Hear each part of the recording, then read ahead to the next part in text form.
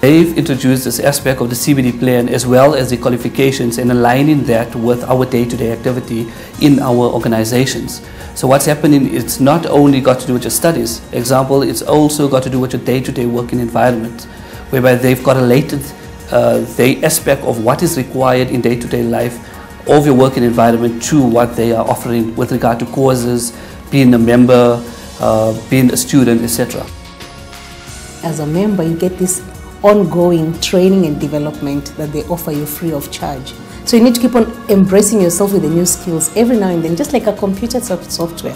Today we've got Microsoft number two. Tomorrow, before you even know it, there's another Microsoft that has already been implemented. And if you don't catch up with the trends of time, you'll be left behind. And that causes nothing but sheer frustration.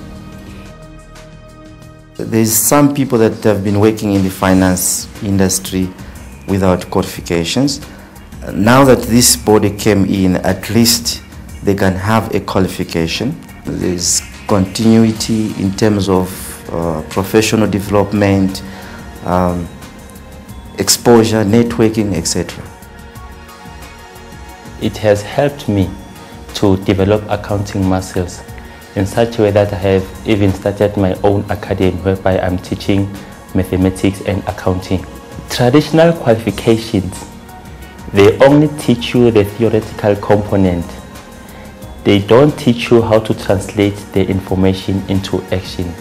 What I'll tell any potential employer is, irrespective of your profession, you need basic accounting. So don't limit your chances and don't limit the chances of your employees.